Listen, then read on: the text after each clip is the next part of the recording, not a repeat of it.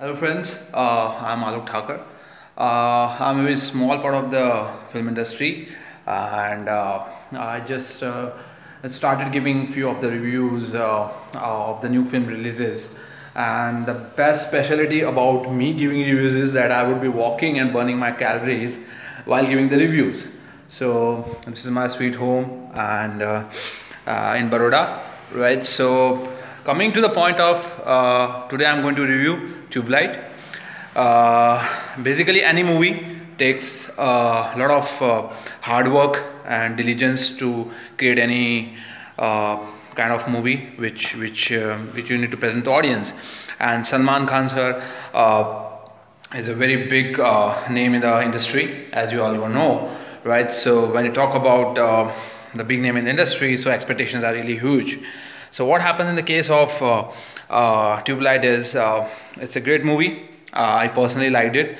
Definitely, it's not a movie for the masses. I would say mostly it talks about mm, about the emotions of the uh, two brothers and a brother who is not so much mentally developed and the brother another brother who is very smart vibrant and is a, is into military right and so it's a great movie, I guess. Uh, uh, Salman Khan sir has tried something new in this movie, and uh, uh my uh, personal things are that Om Puri sir performed really well.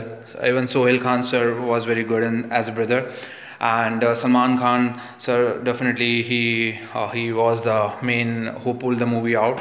the kid, the kid's role is really nice. and the Zhu Zhu from the the Chinese heroine is very nice, right? So um, go and watch it once. Uh, it's a movie uh, which has uh, which has to be seen by heart, uh, and the people who have a heart and emotions will definitely love the movie.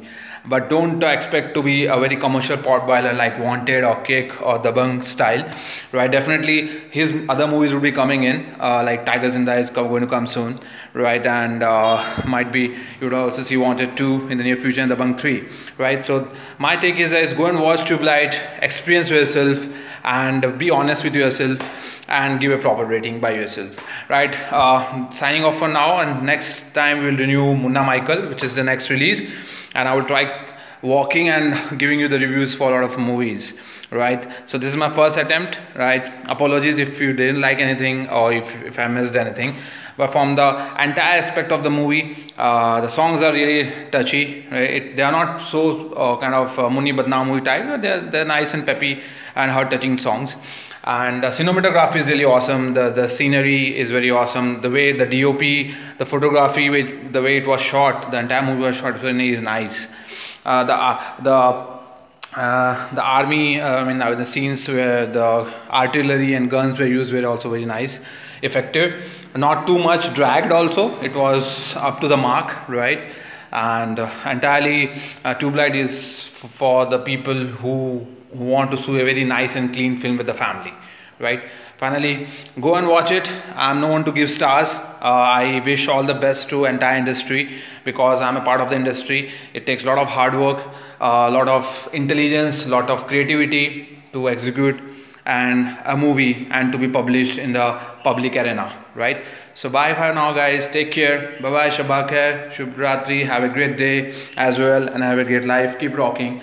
And this is Alok Thaker signing off wait till my next review and next song also. Chura Ke Dil Mera. Bye. Take care